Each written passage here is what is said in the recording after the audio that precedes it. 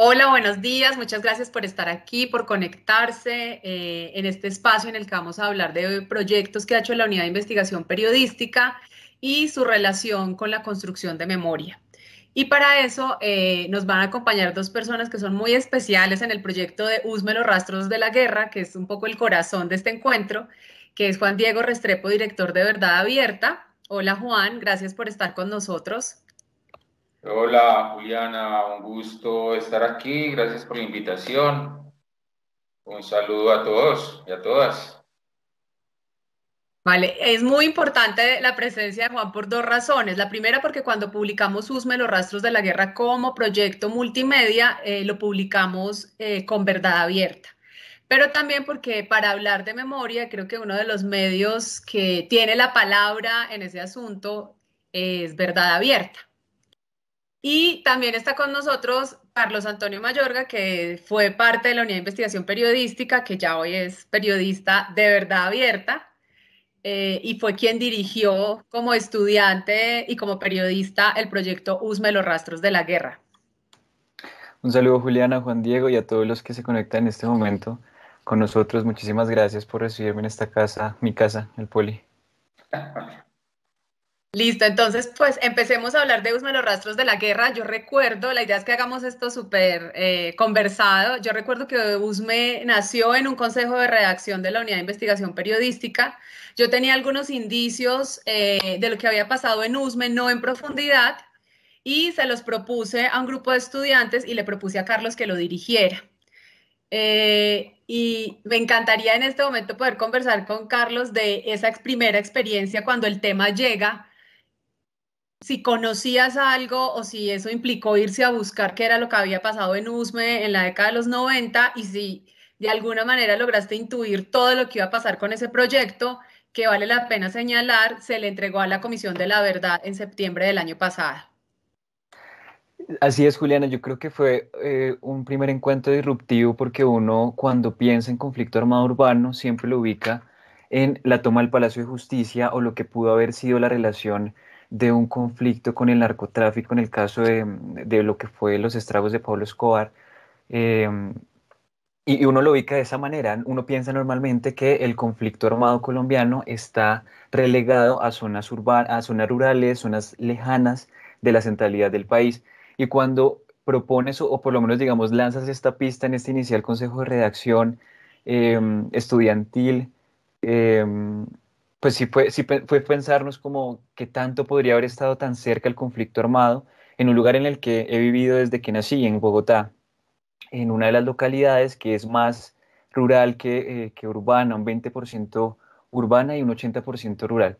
Entonces sí fue un, fue un acercamiento, fue un encuentro disruptivo y desde ahí tocó empezar a buscar de qué manera se había sentido el conflicto armado acá y qué es lo que se, qué es lo que se conocía específicamente de la presencia eh, del entonces grupo guerrillero de las FARC.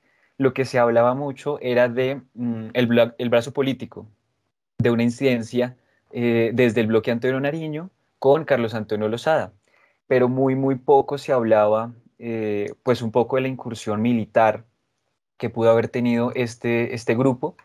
Y bueno, nos encontramos con cosas sumamente interesantes que finalmente sí hablaban de una presencia mucho más militar eh, esto es un poco como, empieza la investigación. Em, recuerdo también, eh, si, no me equivoco, Juan Diego, tú también estabas eh, presente en esos primeros momentos de formulaciones de, la investigación. Y, yo quisiera saber, no sé si tú también ya habías experienciado, conocías algo de la presencia de las FARC en, en USME o por lo menos en Bogotá. Eh, bueno, un gusto volver a saludarlos. Este, este fue un gran proyecto, muy, muy bonito, muy, muy bien hecho, muy profundo, muy detallado. Yo creo que eh, pues, Verdad Abierta se sintió muy halagado cuando nos propusieron investigar, eh, participar de la investigación y de la publicación sobre todo. pues lo que hay que decir es que la presencia de las FARC en, en esa zona de Usme y en algunas zonas de, de Bogotá obedecía como a su plan, a su plan eh, de, formulado a finales de los 80, eh, intentándose desarrollar durante los 90 eh, después de los diálogos del Caguán que fracasaron y era la toma del poder, que ellos la tenían pensada para el año 2002. Entonces no era raro ver la proyección de las FARC en zona rural de, de Bogotá, eh, porque ellos habían abierto un gran corredor estratégico hacia el suroriente del país, que conducía al Tolima, que conducía al Huila, eh, que conducía en últimas al Caquetá. Eh, entonces ahí había un gran corredor, como les digo, con, ese, con esa intención. O sea, en el 2002 las FARC se van a tomar el poder, definitivamente. Y eso necesitaba unos apoyos logísticos en la ciudad, ¿cierto? Unas milicias urbanas, eh, digamos, ubicadas de manera estratégica para, para los apoyos que se requirieran y otras milicias urbanas que ya tenían mayor contacto con el grueso de la guerrilla y de los frentes que venían hacia Bogotá por esos lados. Entonces la presencia de las FARC era, era importante en ese momento eh, y pues con esa pretensión tan ambiciosa. Así es, Usme los Razos de la Guerra fue una investigación que se tomó el trabajo de revisar 13 años de conflicto armado. Bueno, digamos que eso es, es, demasiado ambicioso, pero sí se intentó hacer una revisión lo más exhaustivamente posible que se podía sobre la presencia de este grupo guerrillero en Bogotá y en inmediaciones, o, por lo menos los círculos, el círculo que rodea Bogotá, porque esta también, como lo dice Juan Diego, era una de las intenciones que se tuvo en su momento con estas asambleas guerrilleras que se hicieron en los 80 de empezar a acercar una ciudad como Bogotá en su plan de eh, la toma del poder político, eh, del poder político a través de una incursión militar. Este trabajo empieza a evidenciar que desde 1990 hay una intencionalidad por eh, empezar a movilizar o desplegar tropas efectivamente hacia Bogotá. Y esto se, se, da a partir de mm, un hecho específico que es la toma Casa Verde, cuando pudimos hablar con Julián Gallo Cubillos, hoy senador de la República por el partido FARC, conocido en, los tiempos más álgidos de guerra como em, eh, Carlos Antonio Lozada, nos confesaba que en efecto este hecho de la toma Casa Verde sí es un, hito en el cual eh, se traiciona un poco también, lo, lo, ponen ellos en estos términos, la buena intención que había en el momento, porque esto se hace en eh, vísperas mm, de la constituyente. Entonces, eh, desde allí empezamos nosotros a trabajar esta mm, reconstrucción del conflicto y año a año nos vamos encontrando con masacres que ocurrieron en zona rural de Usme y por supuesto con un gran componente, como lo dice Juan Diego, de trabajo político. Hola, volví, perdón. Se me cayó la conexión. Juli, estábamos, estábamos, hablando precisamente, cuando Diego nos hizo también un panorama de mm, eh, cómo, hizo presencia las FARC, ese plan que tenían en eh, zonas urbanas y por supuesto Bogotá, y yo contaba el espectro de tiempo que, que USME se ocupó por reconstruir desde 1990 hasta el 2003. El 2003, de una vez lo lanzo ahí, es eh, también un momento específico porque empieza todo lo que fue el Plan Patriota, eh, ya en, cabeza de Álvaro Uribe, eh, para desplegar, replegar efectivamente a las FARC de las zonas em, urbanas. Y mm, pues tuvo unos, unos alcances increíbles. En efecto, las FARC lo reconocen cuando logramos hablar con ellos, que los, los, los sacaron de Bogotá, los sacaron de Cundinamarca y los obligaron a irse a sus retaguardias estratégicas, que son sobre todo los llanos del Yarí, eh, esta parte más hacia el sur oriental. Entonces, un poco hacia allá estábamos construyendo la conversación.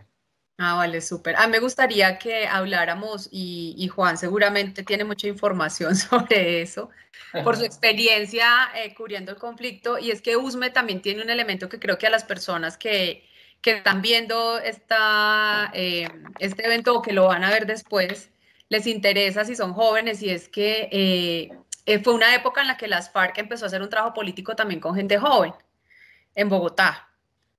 Claro, es que, es que por eso decía ahora que es que mm, la proyección de tomarse el poder en el 2002 eh, de llegar a Bogotá y, bueno, y el poder en su pretensión, necesitaba un apoyo, digamos, logístico y político.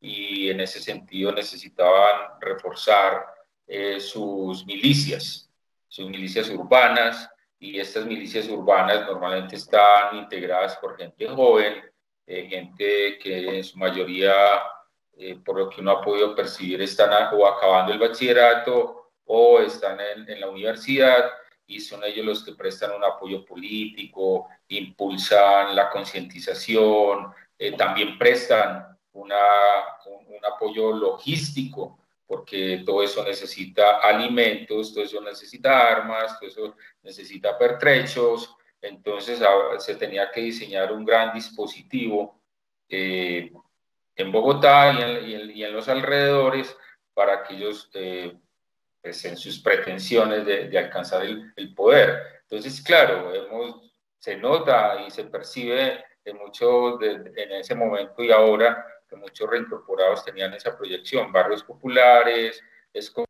escolarizados, eh, comprometidos, concientizados. Eh, le queda a uno la duda si, si vale la pena reseñar el tema, si había, digamos, de alguna forma reclutamiento forzado. Lo que uno cree es que hubo un gran trabajo político en, en colegios públicos, sobre todo, y en universidades públicas, sobre todo, para incorporar estos milicianos a, las estructuras de las FARC.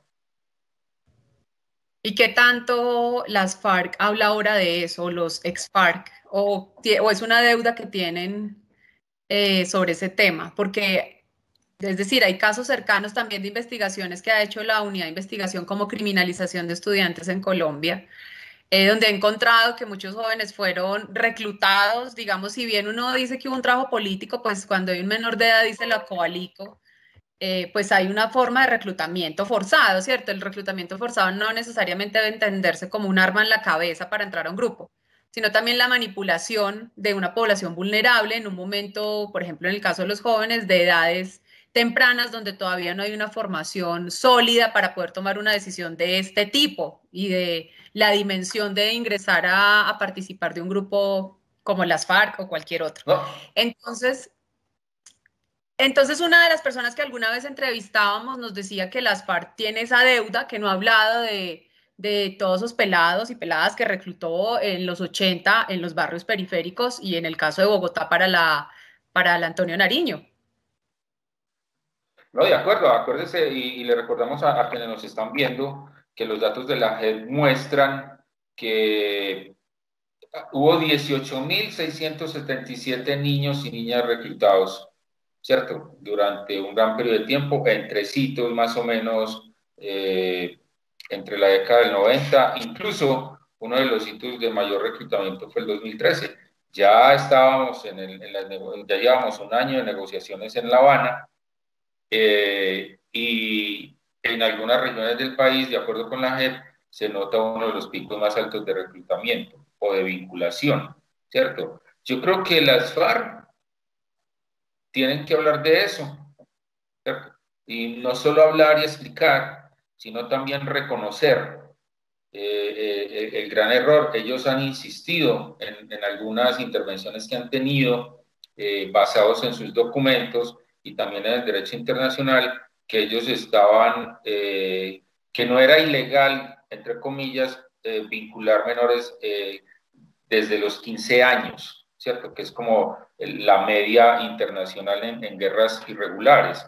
Entonces ellos se han parado ahí, pero aún quedan muchas explicaciones y explicaciones que van por, en este sentido, digamos, de acuerdo a, lo que hemos escuchado y visto desde verdad abierta. Uno, Muchos de esos menores fueron asesinados. Para recordarle un poco a la gente e irnos a otra región del país, el, bloque, el Frente 47 de las FARC, pero aquí entre Antioquia y Caldas, estuvo un tiempo a manos de una guerrillera alias Karina. Ella no firmó el acuerdo de paz porque se había desmovilizado antes y estaba bajo eh, el antiguo, la antigua ley de justicia transicional, la 975 o de justicia y paz, y en ese frente a se le ha investigado por una treintena de niños que asesinó y desapareció porque en algún momento dado entró en paranoia y creían que esos muchachos que estaban llegando nuevos la iban a entregar a las autoridades. Ahí hay muchos casos, está la Operación Berlín, ¿cierto? Que dejó entre 60 y 70 niños muertos en una operación irresponsable después de haber mandado a los niños a la guerra sin ninguna preparación. Y esos son los que se conocen, pero, pero, pero estamos hablando de 18 mil casos que uno no sabe si están, si crecieron, si están vivos, si desertaron, eh, en, en qué situación están. Y yo creo que uno de los asuntos de responsabilidad mayor de las FARC es dar cuenta de eso, ¿cierto? Y no solo, y aquí valga una crítica con, toda la responsabilidad que hay que hacerla, y es que no solo tiene que hablar de eso de Rodrigo Londoño, el máximo jefe hoy de, las antiguas FARC, tienen que hablar los mandos medios, porque son los que conocen realmente los procesos de, de vinculación o de reclutamiento. Entonces ellos le den muchas verdades al país y esperamos pues que las cuenten. Eh, Carlos, de esas verdades que dice Juan Diego que le deben al país, nosotros intentamos recuperar algunas o reconstruir algunas, no solo hablando con eh, exmiembros de las ex-FARC, sino también con pobladores de USME. Y eh, una de las cosas bellas que hace el trabajo de USME, los rastros de la guerra, es recapitular eh, y darle voz a víctimas de masacres que habían pasado, que la gente olvida. Y me gustaría que Carlos en este momento hablara brevemente de esas masacres que retomamos en el libro y, valga la, cuña para decir que de todo esto de lo que estamos hablando, pues pueden encontrar más información en el libro Usme los rastros de la guerra y en otras investigaciones que ha hecho la unidad desde el 2015 cuando fue creada. Sí, Juliana, especialmente nosotros reconstruimos tres masacres.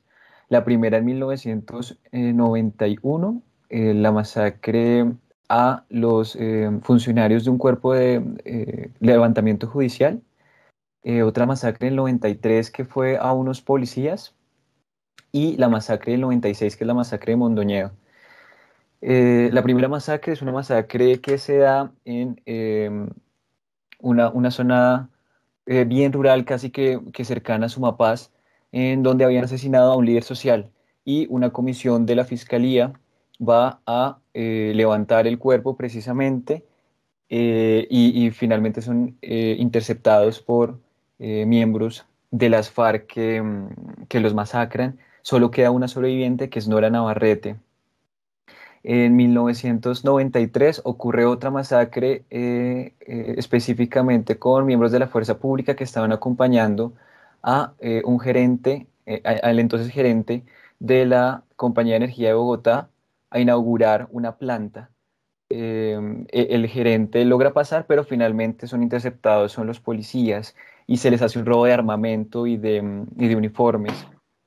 Eh, y ya para 1996 también un poco entendiendo lo que fue estas lógicas del conflicto en el cual pues eh, en ambos bandos eh, se perdieron personas, se perdieron vidas. Las FARC también se vio afectada en una masacre muy silenciosa que explotó mucho tiempo después, conocida como la masacre de Mondoñedo, en la cual se llevó a, hacia las afueras de Bogotá a una finca a miembros del entonces guerrilla eh, del brazo político de las FARC, el bloque Antonio Nariño, em, y, pues se, les desapareció básicamente.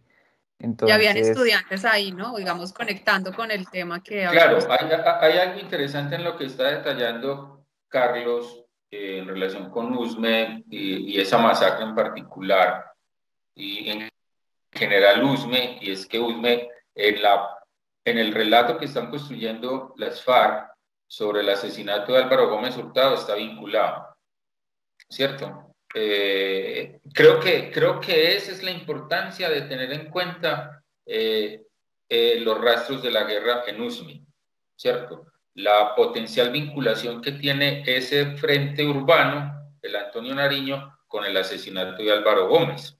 creo que hay una importancia histórica en este trabajo, en esa... Yo creo que para avanzar un poco, este tipo de trabajos creo que lo que, han, lo que permiten hacer es que ponen unos elementos de contexto a lo que van a empezar a contar las FARC o están contando las FARC, eh, tanto en la Comisión de la Verdad como en, eh, la en la Jurisdicción Especial para la Paz. Esa es la clave de esos trabajos de memoria sobre memoria desde el periodismo, que ponen elementos adicionales, explicativos, ¿cierto? Que son muy importantes para, sobre todo la gente joven, llegue a estos temas y conozca eh, e, este tipo de historias, ¿cierto? De la, incluso la forma como están empaquetadas, como están narradas. Creo que eso es muy importante porque suman a lo que tienen que decir los actores de la guerra. Y una, una cosa que, complementando ya corto, Juan Diego, que ocurrió cuando estábamos haciendo la investigación, precisamente en la entrevista que le hicimos a, a Julián Gallo Cubillos o Carlos Antonio Lozada, eh, fue que un poco tocó intuir esa respuesta. Yo creo que el hecho de Mondoñedo y el vincular específicamente a las personas que murieron como miembros de ese brazo político de las FARC era un secreto a voces, lo mismo que ocurría con el caso de, de Álvaro Gómez y por supuesto también Pizarro, que se supone que era una cosa que se conocía internamente dentro de las FARC, pero que no había eh, sido como tratada públicamente. Y cuando hablamos con Carlos Antonio Lozada y le preguntamos cuál es el año más difícil para ese bloque eh, o ese grupo político guerrillero que estaba en la capital, él dice el 96. Y ahí digamos que hay una contrapregunta o solamente un comentario del equipo periodístico que le dice, ah, la masacre de Mondoñedo, y él como que lo, lo responde muy, muy normal, o sea, como muy pero sí recuerdo, recuerdo que él dice ahí algo clave y es la masacre Mondoñedo nos acabó al, eh, al, bloque Antonio Nariño y es cuando a él lo llaman otra vez para que, pues para que se vaya de Bogotá porque estaba en riesgo.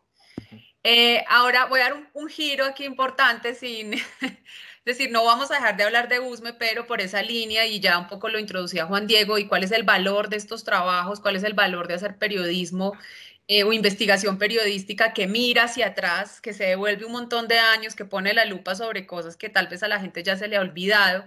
Y en eso creo que de verdad Abierta pues tiene una experiencia enorme, no solo haciendo eso, sino además generando un periodismo actual que después termina siendo de consulta para cuando uno quiere hacer periodismo de memoria o uno quiere hacer memoria como audiencia.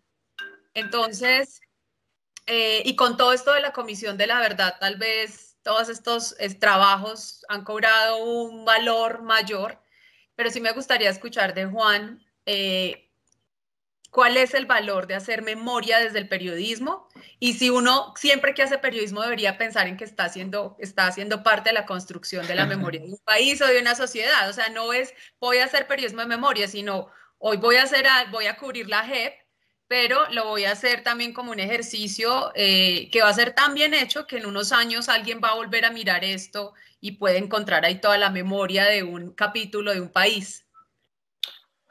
Ah, ¿quién es? Ah, muchas, muchos de los que me conocen y las que me conocen me han escuchado esta historia, pero vuelvo y la repito porque es que para mí marcó mi vida. Hace mucho tiempo yo trabajaba para el periódico colombiano y eh, llegó un editor nuevo al área en la eh, y, y, bueno, estábamos ahí revisando unos textos, me hizo algunas correcciones y me dijo,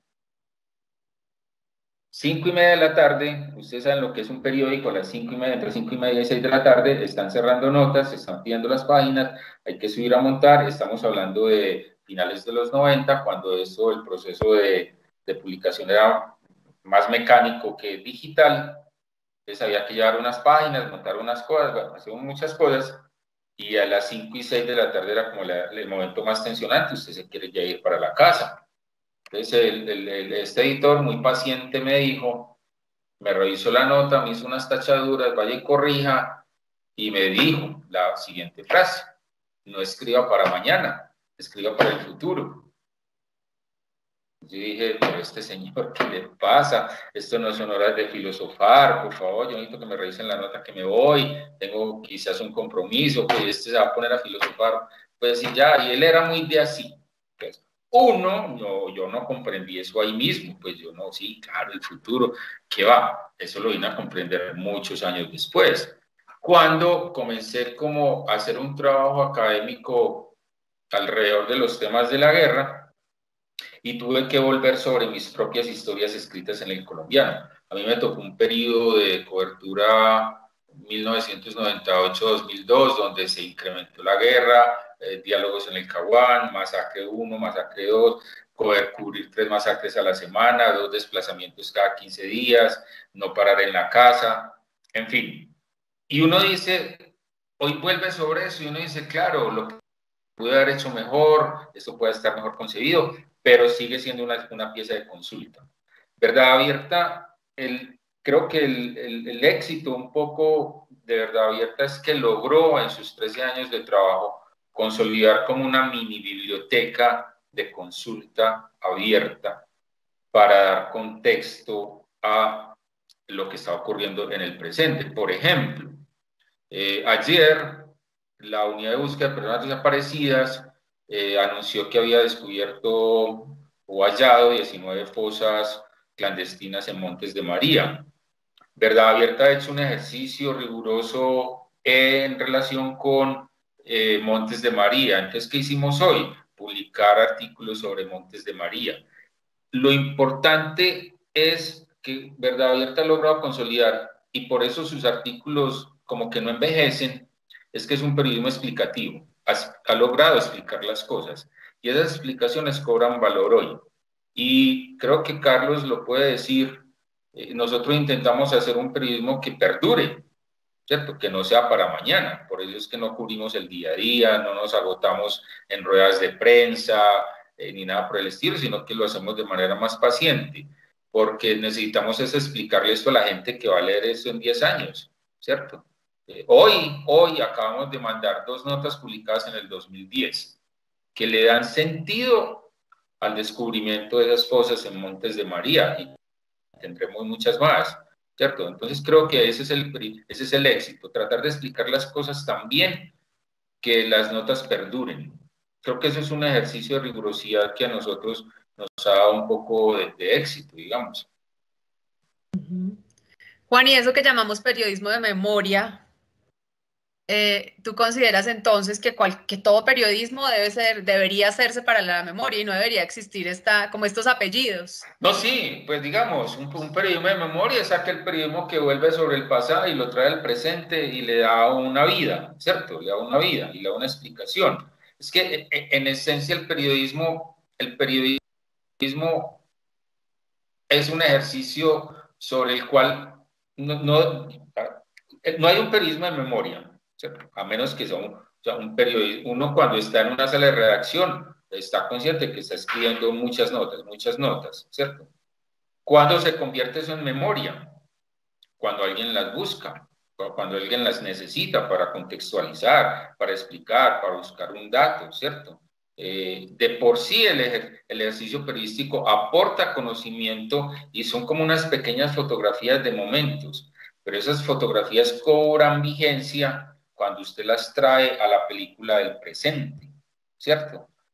Es como eso, yo cubrí la guerra y cubrí un montón de masacres y las cubrí sin el ánimo de, de pensar esto me lo van a leer en 10 años. No, no, no, esto es el agite, el ya, el editor encima, las correcciones, el riesgo, las víctimas, eh, el hambre que uno siente tres días fuera de la casa, todo ese tipo de cosas, ¿cierto? Uno no es está diciendo esto es para la memoria, lo voy a hacer despacio. No, no, eso hay que hacerlo ya. Lo que pasa es que cobra vida cuando llegan los momentos de la memoria, que son los actuales, y hay que buscar datos del pasado. La idea es que hacer un periodismo tan riguroso que quien lo revise dentro de 20 años, eso sea útil.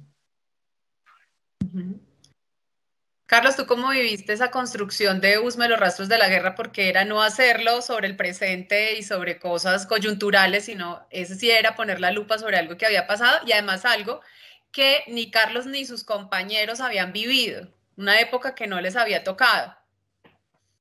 Yo creo que lo ilustraría desde um, algunos comentarios que me han hecho las víctimas propiamente o, protagonistas de estas historias, en las masacres, sobre todo en la del cuerpo judicial, y era, eh, nadie, se, nadie se había preocupado por esto, esos son como los primeros comentarios que llegaron y, se plantaban como con, con, mucha esperanza, alguien está tocando de nuevo este, este caso que para mí quedó en el olvido, pero también como con mucha extrañeza, como en no entender qué es lo que querían hacer, porque asimismo creo que este periodismo que, que sí finalmente tiene este objetivo puntual de reconstrucción de hechos del pasado, no es un ejercicio muy habitual para, para la gente del común, donde la gente lo pueda ver frecuentemente. Entonces era, como esperanzador para ellos, pero también muy extraño y no saber qué era lo que queríamos hacer finalmente. Y hoy verlo y, digamos estar como, como con esa emoción. Este año se cumplen 30 años de la masacre y entre varias cosas pues ellos están pensando en, hacer un acto conmemorativo y esto. Y eh, pues es, encontrar mucho valor en ese trabajo, o sea que finalmente logró explicar y logró también tramitar muchas cosas en ellos que no se habían compartido o que no habían logrado compartirse entre las víctimas. Entonces, para mí fue un ejercicio muy bello, un ejercicio también muy doloroso. Eh, ahí empecé a trabajar con víctimas y, pues bueno, creo que a uno no le enseñan plenamente cómo, cómo acercarse, cómo...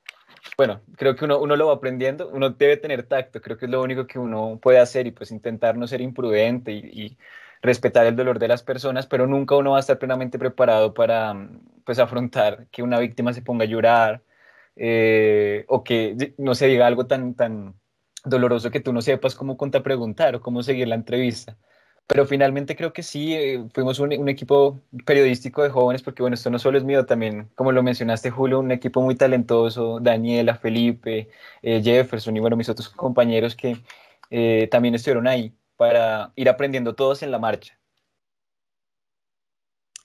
Y ahora yo me pregunto en muchas ocasiones qué tanto contribuye eh, el periodismo, digamos, bien hecho, como ese que dice Juan, hecho a veces a la carrera, pero pensando en que ya con más conciencia de que esto en muchos años puede ser leído para revisar la historia. ¿Cuál es ¿Qué tanto contribuye a esto que se haya vuelto eh, una política, digamos, del país y particularmente eh, abanderada por la Comisión de la Verdad de la no repetición? ¿Hay algún aporte desde ese tipo de periodismo, Juan, a esa no repetición? Yo, yo, hay, hay, conceptos en los cuales soy muy, muy pesimista, ¿no? Ustedes me conocen bien. Yo creo que el periodismo aporta, aporta conocimiento, pues, digamos, aporta una, una, información que luego se convierte en conocimiento, que se puede estructurar, que se puede sistematizar, pero las lógicas de la confrontación no, no necesariamente el periodismo tiene la capacidad de frenarla, ¿cierto? La, la no repetición. Si bien tenemos una responsabilidad en contar bien las cosas, en promover la no, la no repetición, eh, la no repetición pasa por otros resortes más del Estado, digamos, de los gobiernos, de la, de la, política pública en determinado momento, de cumplir con un acuerdo de paz, de implementarlo como debe ser, de ponerle los recursos eh, que se requieren. Eh, lo que podemos hacer desde el periodismo para la no repetición, ¿cierto? Es insistir en eso, es contar historias que vayan con este con ese enfoque, oiga, es que esto no se puede repetir, esto no se puede repetir, pero básicamente lo que hacemos es contribución con una información rigurosa para que otros sean los que tomen las decisiones. Eh, lo que sí hacemos es un tipo de información que le permita a la ciudadanía salir a reclamar no repetición. Yo creo que parte del reclamo de la expresión social de, de, abril de este año, eh, si bien eso partió de una reforma tributaria, eso fue condensando muchos, muchos dolores, muchos reclamos y entre esas estaba eso y que es que están matando los líderes. Quien no quisiera que dejen de matar líderes, pero la no repetición o la repetición se, concreta, ¿cierto? En, el asesinato de líderes, lideresas y autoridades técnicas.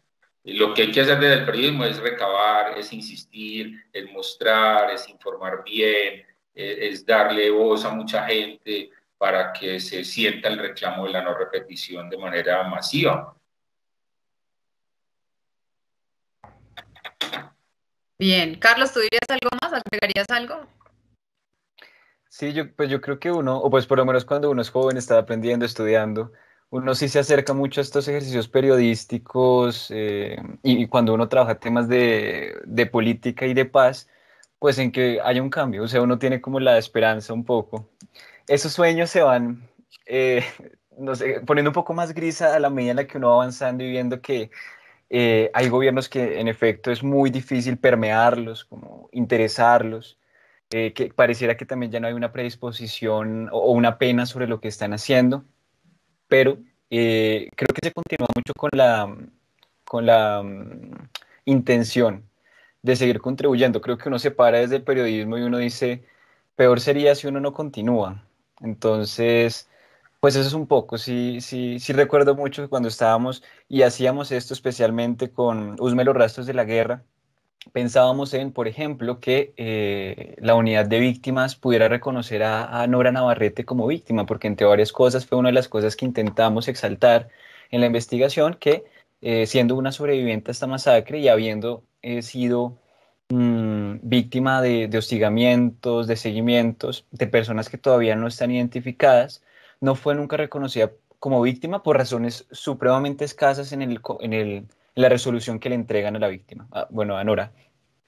Entonces, nosotros pensábamos desde ese trabajo como ojalá lográramos que eh, esto calara como para que eh, pudiera ser reconocida como víctima, no de una manera, pues porque ella también ya estaba desgastada, ella decía, yo soy una víctima y yo no necesito a nadie que me lo diga, no necesito al Estado que me esté reconociendo, mucho menos a la unidad.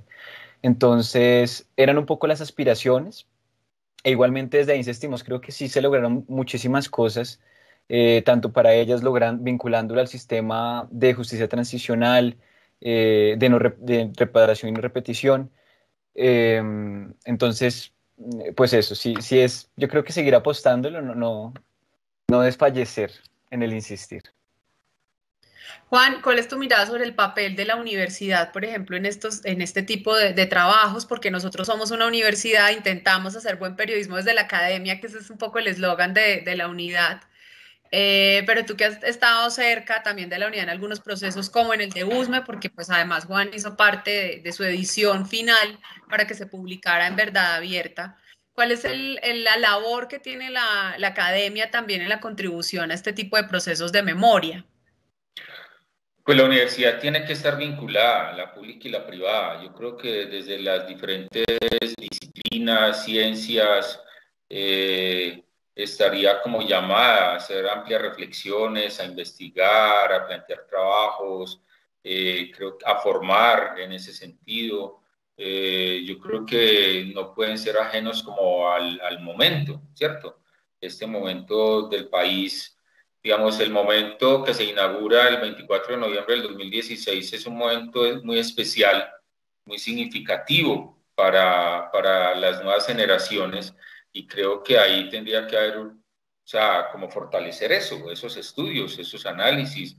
En el caso de ustedes, en eh, eh, el tipo de periodismo que hacen, cómo lo abordan, un poco lo que relataba ahora Carlos, ¿cierto? Que que ha sido como un asunto que ha pasado como de largo en un país que ha estado en 53 años de guerra, 54.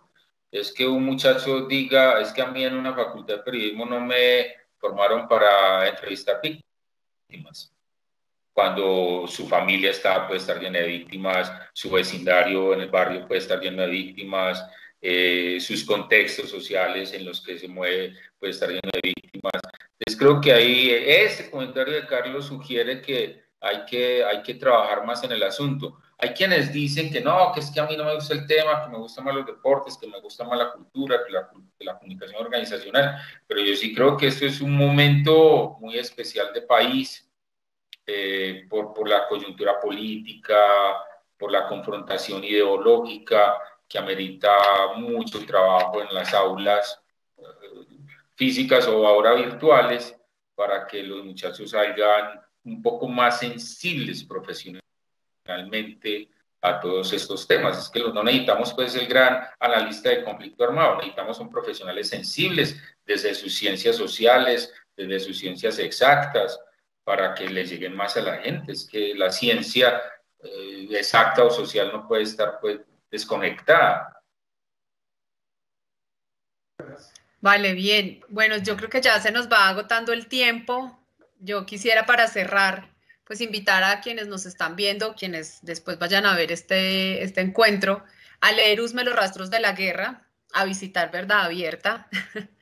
Eh, si están interesados en conocer la, la, historia del país y por supuesto el presente con una mirada más crítica y más profunda, más allá de la nota rápida que puede eh, que puede sacar un medio, digamos, dedicado a la noticia, pero si uno quiere conocer la complejidad de un acontecimiento, de la serie de acontecimientos que va viviendo el país, eh, pues están invitados a revisar estos dos medios y bueno, digamos que además eh, ese, ese libro del que estamos hablando, que es Usme los rastros de la guerra, que para nosotros es muy significativo, eh, reitero, no solo por la investigación a profundidad que hubo allí, por lo que representó para las víctimas, sino también por el aporte que nunca imaginamos iba a pasar con él, que fue, por ejemplo, a la Comisión de la Verdad, como otro tipo de trabajos que, que ha hecho la unidad.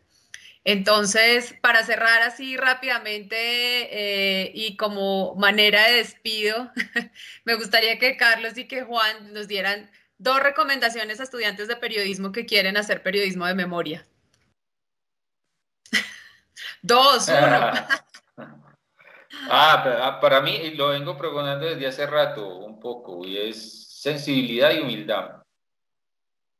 Sin esos ah, dos componentes, un periodista no se puede acercar a las víctimas a hacer memoria.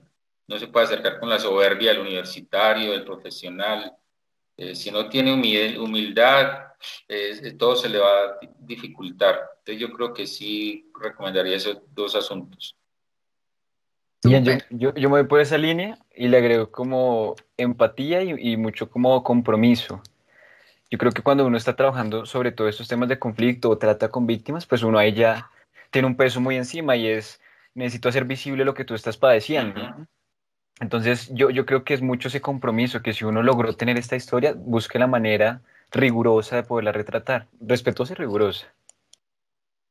Vale, súper. Bueno, muchas gracias a Carlos que vuelve a, la unidad, siempre lo traemos, y a Juan, eh, que como director de Verdad Abierta, pues también nos ha apoyado mucho en la publicación y en el acompañamiento a la unidad de investigación periodística. Muchas gracias a quienes estuvieron conectados eh, por haber participado en este encuentro.